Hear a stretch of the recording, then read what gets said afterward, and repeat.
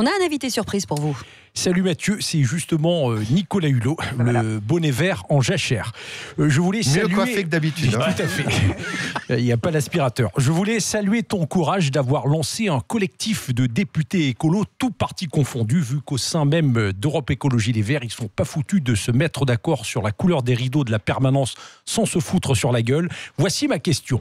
Au rythme où le nouveau monde se détériore, est-ce que tu penses que le dernier ours blanc disparaîtra avant ou après le dernier député La République En Marche dans l'hémicycle C'est quand ce frisson Il faut que je, je réponde vraiment. Ah bah oui.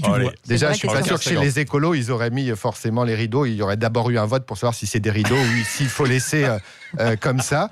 Euh, C'est un store, c'est en ça tout cas, ce qui est important, c'est que les ours blancs euh, disparaissent pas. Voilà, c'est le plus important. Parce les que faut- députés, oui.